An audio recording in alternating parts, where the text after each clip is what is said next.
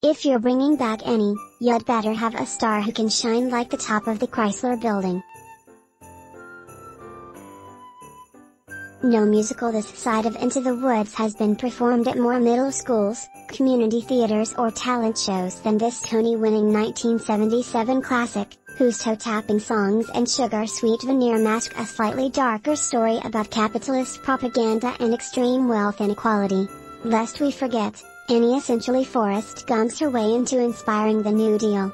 Regardless, we've all endured at least one bad production of Annie in our lifetimes so it didn't exactly spark excitement this summer when NBC announced it would continue the network's live musical programming with this family-friendly show at Christmas time, featuring Grammy winner Harry Connick Jr. as billionaire Daddy Warbucks and Empire actress Taraji P. Henson as the Slippery. But our skepticism dissipated minutes into the network's Annie Live. On Thursday night, as young triple threat Celina Smith took the stage to sing Maybe, the dauntless orphan Annie's yearning plea for her parents to find her, Although just 12 years old, Smith brings a world-weary sadness and almost desperate optimism to her otherwise chipper character, who lands a shot to stay at Warbucks Mansion for the holidays, factor in her easy confidence, infectious smile and powerful, crystal clear voice, and it's only a matter of time until Smith's name lights up a Broadway marquee.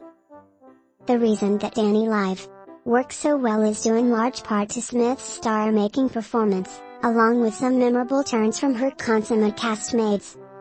Nicole Scherzinger, of the Pussycat Dolls, brings palpable warmth and pathos to the often thankless role of Warbucks assistant turned love interest Grace Farrell, and delivers one of the night's few genuine showstoppers in the jazzy We Got Annie.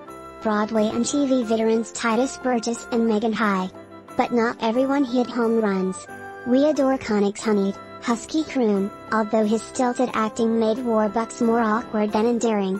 And while Hannigan is a delicious role that offers ample opportunity to ham it up during standout numbers Little Girls and Easy Street, Henson doesn't merely chew the scenery as the villainous orphanage head, she swallows the whole proscenium in a shrieking, mugging turn that whiffs on all the, it's a shame, because vocally Henson is one of the stronger Hannigans we've seen. Annie Live is produced by Robert Greenblatt and Neil Meron, who along with the late Craig Zadan was responsible for all of NBC's recent live musicals starting with The Sound of Music Live in 2013.